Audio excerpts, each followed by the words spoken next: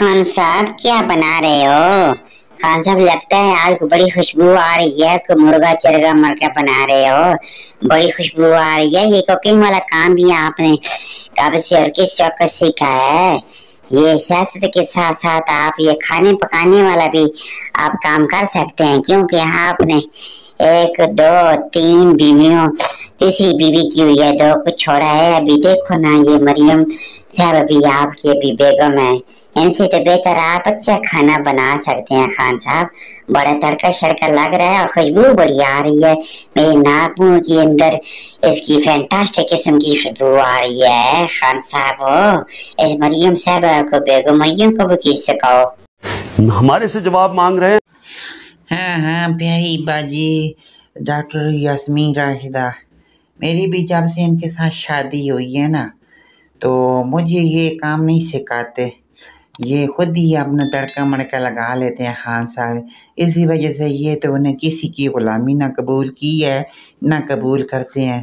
یہ خود ہی اپنی چسکا مسکا لگا کر کھاتے ہیں۔ ایک عرصہ سے ہو چکا ہے، عرصہ چار پانچ سال سے ان کے ساتھ میں زندگی گزار رہی ہوں۔ لیکن یہ اپنا من مانی کے مطابق ہر چیز بنا لیتے ہیں، کھانا مانا جو بھی ہو۔ میری پیاری باجی ڈاکٹر یاسمین راشتہ یہ مجھے کھا دیں تو میں تو ان کو پکا کر کھلاؤں۔ خاموشی غور سے سنیں آپ یہ ضائع کر دیں گے یہ بات۔ ہاں میری پیاری بیگم اور میں اپنی تڑکا مڑکا خود ہی لگاتا ہوں۔ میں کسی کی غلامی قبول نہیں کرتا اور میں کسی سے نہ لیتا ہوں نہ کسی کو دیتا ہوں نہ جہاز میں نہیں ہونے دیتا۔ او میری پیاری بیگم میری پیاری بیگم میں اسی وجہ سے ایک عرصے سے اپنا کما رہا ہوں اپنا کھا رہا ہوں۔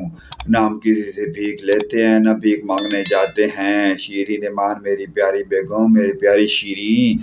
اور تیرے اندر شیری اتنی ہے اور میں اسی وجہ سے آپ کو نہیں سکھلا رہا۔ اور میں خود ہی اپنا کام کرنا جانتا ہوں۔ میں کسی کے نیچے نہیں لگنا چاہتا۔ آپ بھی ہیں تو پھر بھی میں اپنا کام میں خود کرتا ہوں۔ چلو بھائی۔ اے رہا نہیں جاتا۔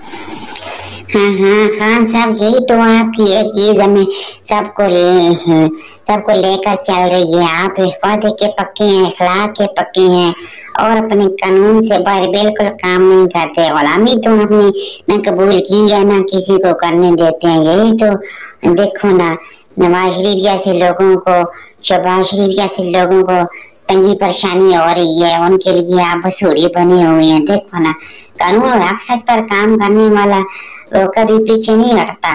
وہ اٹل فیصلے کرتا ہے اور صحیح ہوتا ہے۔ وہ اپنی عوام کو ایک ایک لکیر پر صحیح اکثر پر چلاتا ہے۔ یہی تو خان صاحب آپ کا منشور ہمیں جو ہے نا، ہمارے دل بڑے کر دیتا ہے۔ پاکستانی فخر ہونا چاہیے۔ آپ کے جنون کا شکریہ۔ پیاری دوستو، ویڈیو کو لائک کریں، سبسکرائب کریں، ساتھ لگے گھنٹی کی آل کے بٹن کو ضرور پریس کریں تاکہ ہمارا ہر نیا آنے والا سیاست پر مبنی فنیخہ کا آپ تک برواق پہنچتا رہے۔ اس کا کسی پارٹی کے ساتھ کوئی تعلق نہیں ہے جسٹ فار فن آٹ ریئلی تھینکس